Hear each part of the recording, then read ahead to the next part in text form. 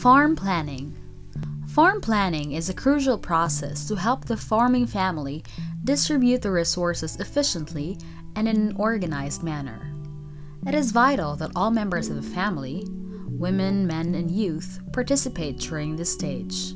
A comprehensive farm plan helps to set down the farming family's vision and objective. The layout, including the combination of intercrop plants and animals, based on commercial value land suitability, family food security, and resource conservation measures. A good farm plan helps the family identify the input and financial needs and the overall estimate of future costs and returns. Prerequisite in farm planning Record each family member's routine activities related to farming and home management. Listing down activities help harmonize the schedule of the farming family. Use the VORAD acronym. Visit or survey the farm area you want to develop. Observe and map out or draw the area. Record all the important observations. Analyze the information gathered. Decide the what, when, where, and the how the development plan will be implemented. Step 2 Farm Sketch Map Make an area map that shows the topography, slope, and elevation. Visualize how the farmland will look after five years. Step 3 Farm SWOT Analysis Describe the strengths, weaknesses, opportunities, and threats. Each profile should include the following Number 1 Farm Household or Farm Resource Inventory.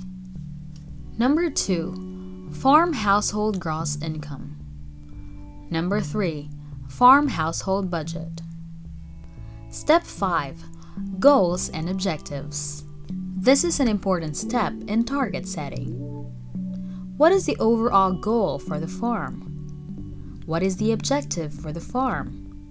What is a time frame to achieve the goals in the farm? Goal is a desired result that a person or a system envision, plan, and commit to achieve. Step 6 Action Plan An action plan gives all members of the family a chance to play a role in creating a strategy to overcome threats during the farm planning stage. Number 1. What are the available or potential resources on the farm? Number 2. What are the areas or sites to be planted or developed? Number 3. What are the limitations? Number 4. What are the crops and trees to be planted? Number 5. What are the possible crop combinations, planting pattern, and distance? Number 6. What are the technologies which should be introduced for adoption? Number 7. What are the seeds and material requirements? Number 8. Where are sources of information, technology, seed, and other materials?